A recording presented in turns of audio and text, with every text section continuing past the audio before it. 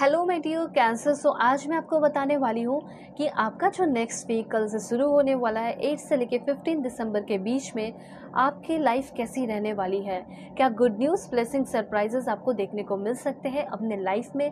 किन सारी चीज़ों से अवेयर रहना है? आपका धन हो, कारोबार हो पार्टनर की फीलिंग हो, ये सब कैसा रहेगा? सब मैं आपको बताने वाली हूँ। तो जल्दी से हो जाइए पॉजिटिव लाइक एंड सब्सक्राइब करके फैमिली मेंबर बन जाइए और पर्सनल रीडिंग के लिए कांटेक्ट कर सकते हैं मेरे जी मेल एंड इंस्ट के थ्रू वीडियो के डिस्क्रिप्शन में आपको जी मेल एंड इंस्ट का जनरल लिंक मिल जाएगा। देखिए, इस वीक मुझे ऐसा लग रहा है कि सबसे पहली बात, आप बहुत सारी सी चीज़ें हैं जो आपसे छुपाई गई है। वो त्रुत आपके सामने आते हुए दिखाई दे रहा है। ठीक है, और कुछ ऐसी चीज़ें जो तुरंत आपके सामने रहती थी, लेकिन आप उस चीज़ को एक्सेप्ट नहीं कर पा रहे थे तो आपके अंदर वो जो क्षमता होनी चाहिए थी, चीज़ों को एक्सेप्ट करने की, वो क्षमता आ रही है। और सबसे इंपॉर्टेंट इस वीक आप बहुत हील करने वाले हैं, बहुत ज़्यादा अवेयरनेस आ रहा है। हर एक चीज़ मैं आपको बताती हूँ। सबसे पहली बात, मुझे ऐसा लग रहा है, इस वीक आपका शुरू हो सकता है कंपैरिजन के साथ। आपका हो सकता है फैमिली में आपके पेरेंट्स जो है, आपका कंपैरिजन कर रहे हैं बाहरी लोगों से, या फिर आपका मन, आपका खुद का मन, या आप खुद ही अपना कंपैरिजन किसी न किसी के साथ कर रहे हो। ऐसा यहाँ पे मैं देख पा रही हूँ। पर आप ये भी समझ पा रहे हैं इस वीक कि मुझे तो कंपैरिजन करना चाहिए ही नहीं, क्योंकि उसकी लाइफ अलग है, मेरी लाइफ अलग है। जो उसको टाइम लगा, हो सकता है वो उसका डिवाइन टाइम था, जो मेरा टाइम है, वो मेरा टाइम डिवाइन टाइम है। और ऐसा भी हो सकता है कि कुछ ऐसे लोगों से आप अपना कंपटीशन करते हैं कंपैरिजन करते हैं, जो कि आपसे बहुत बड़े भी हो एज में, ठीक है? तो सिंपली मैं आपको यहाँ पे ये चीज़ बताना चाहती हूँ कि आपको ये समझ में आ रहा है कि मैं जो उतने लंबे से किस, समय से किसी के साथ कंपैरिजन कर रहा था, ये सही नहीं था। मुझे अपना कंपैरिजन किसी के साथ नहीं करना चाहिए। और यही बात यूनिवर्स समझाना भी चाहते हैं आपको। Male female first second third marriage वाले एल कम्युनिटी जो भी आप देख रहे हैं, सभी के लिए मैसेज है स्टॉप कंपेरिजिंग अपना अपने साथ कंपैरिजन कीजिए कि मुझे कैसे ठीक होना है। लेकिन किसी और के साथ मत कीजिए।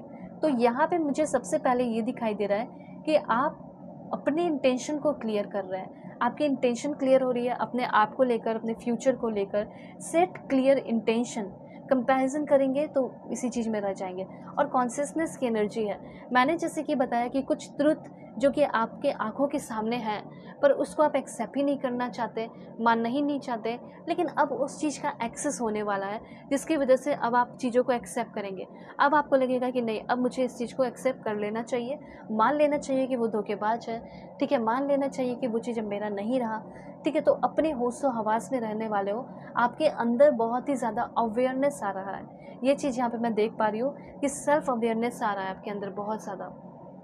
डेवलप हो रहा है। ठीक है? होता है, मन नहीं करता है कि उस चीज़ को एक्सेप्ट कर ले कि ये चीज़ हुआ है, लेकिन अब आप उस चीज़ को एक्सेप्ट करके आगे बढ़ रहे हो।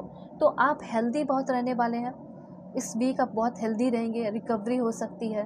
ठीक है? माइंडफुलनेस प्रैक्टिस कर रहे हैं और लिमिट कर रहे हैं। डिस्ट्रैक्शन थोड़ा बहुत सबके लाइफ में रहता है, लेकिन आपका जो डिस्ट्रैक्शन है वो मिनिमाइज होते हुए दिखाई दे रहा है। वर्क प्लेस हो या कुछ भी हो ठीक है वर्क प्लेस पे प्रमोट्स हो सकते हो प्रमोशन की एनर्जी लग रही है। और फोकस रहना है आपको।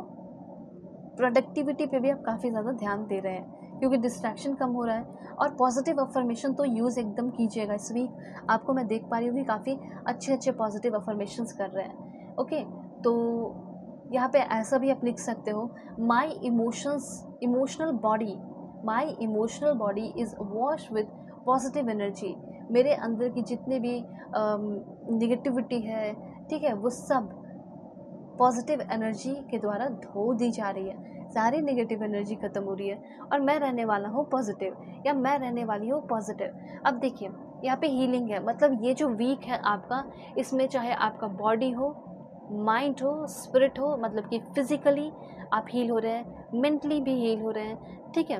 और स्पिरिचुअली तो बहुत ग्रो हो रहे हैं, बहुत अवेयर हो रहे हैं। ऐसे ही मतलब पहले क्या था कि ईजिली भरोसा करते थे, अब तक। ठीक है, कर रहे हो। लेकिन अब इस वीक आपके अंदर अवेयरनेस आ रहा है। ना किसी से कंपैरिजन करना, ना किसी पे इजीली ट्रस्ट करना। हमेशा अवेयर रहना, कोई भी काम करने से पहले। और हमेशा अपने आप को सबसे ज़्यादा वैल्यू देना, अपनी हीलिंग को सबसे ज़्यादा वैल्यू देना। इसी वजह से मुझे आपकी इस वीक बहुत ही ज़्यादा, जिस जिस चीज़ में टेंशन है, उन उन चीज़ों में हीलिंग होती हुई दिखाई पड़ रही है। तो क्या करना है, अभी आपको लाइक एंड सब्सक्राइब करके अलाइन हो जाना है। ताकि फ्यूचर में भी इस तरह के ब्यूटीफुल रीडिंग आपको मिलते रहे। और पर्सनल रीडिंग के लिए कांटेक्ट कर सकते हैं मेरे जी मेल आई के थ्रू वीडियो के डिस्क्रिप्शन में आपको जी मेल आई का जेनविन लिंक मिल जाएगा। दुनिया के किसी भी कोने में किसी भी टॉपिक पर रीडिंग ले सकते हैं। ओके सो चलते भाई ठीक है अपना ख्याल रखिएगा, अपने फैमिली का भी।